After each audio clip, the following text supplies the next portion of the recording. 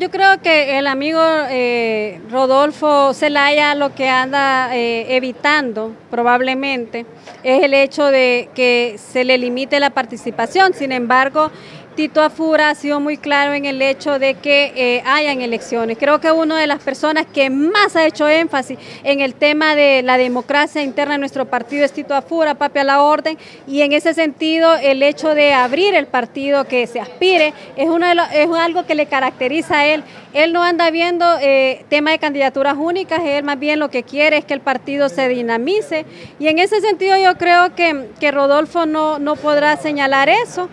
Eh, creo que es importante que la democracia interna de nuestro partido se respete y es más, que aspire todo el mundo quien quiera y quien pueda. Eh, al fin de cuentas, eh, parte de, de la representatividad de los partidos es el hecho de que se puedan llegar a elecciones primarias internas en cuanto a eso. Así que yo creo que, mm, que no le tenga miedo Rodolfo, que aspire y que se miden las urnas a ver si el nacionalismo lo quiere. Pero también es muy cierto el hecho de que Tito a la, eh, Papi a la orden y Tito Apura eh, definitivamente el pueblo lo quiere, el pueblo nacionalista aspira a que sea él nuestro candidato y yo creo que vamos por esa línea. Así que la democracia, Jorgito Zelaya por otro lado él anda, así que se respeta, mire, papi es un hombre respetuoso de, la ley, de los principios democráticos y del respeto al, derecho ajeno, eh, creo que es una de las personas que más eh, puede eh, sentir ese, ese simbolismo y así lo reconocemos. Así que bienvenido a, la pesa que se abre y todo el que quiera participar y que demuestre esos liderazgos